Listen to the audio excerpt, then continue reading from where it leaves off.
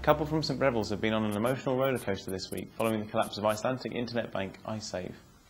Mike Davis and Pam Henson faced losing at least £25,000 after the bank went bust, but have been given hope after the Chancellor Alistair Darling stepped in to guarantee British investors money. This has come as a huge relief to Mike and Pam, who had planned to use some of the money to pay for their upcoming wedding. FTV spoke to them about their ordeal. Um, I have £78,000 in uh, a fixed rate, one year fixed rate account with Icesave, which is due to mature on the 25th of October. So we uh, were really nervous that it might go belly up before the 25th of October. I also had £23,000 in, in a fixed rate bond, which I couldn't get out either. Um, so it was a bit of a shock, uh, particularly as we chose Icesave because we thought putting money in a bank was much safer.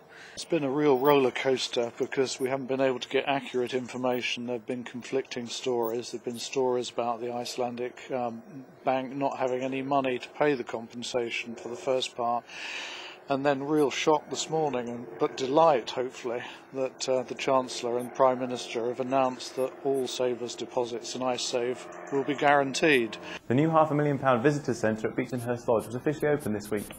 FTV was there for the opening ceremony and spoke to Forestry Commission Deputy Surveyor Rob Guest about the completion of the state-of-the-art building. It's taken nearly eight years to get this extension to fruition and we've tried to build a building here that really does match the existing building. So it doesn't take anything away from what people know and understand as Beechenhurst. It's, it's enhancing it.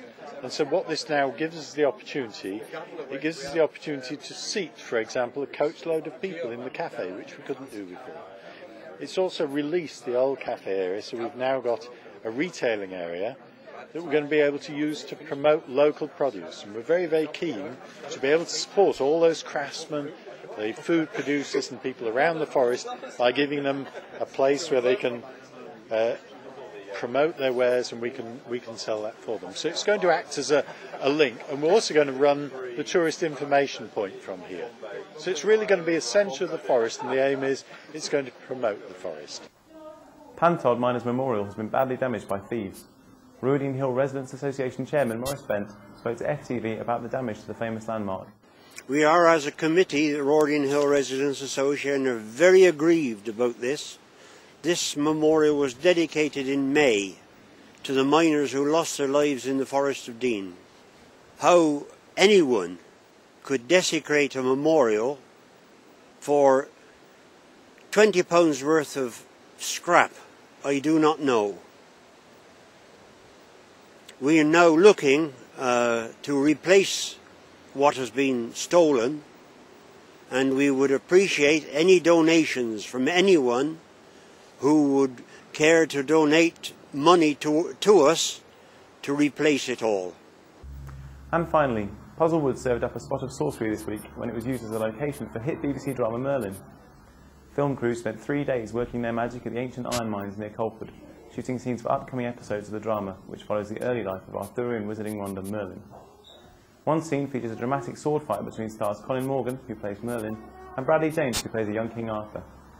The crew used two sites in the woods and also shot scenes at Symonds Yat, after the sites were recommended by a BBC location scout. The episodes featuring Puzzlewood are expected to be aired on November the 29th and December the 6th. That's all from FTV this week.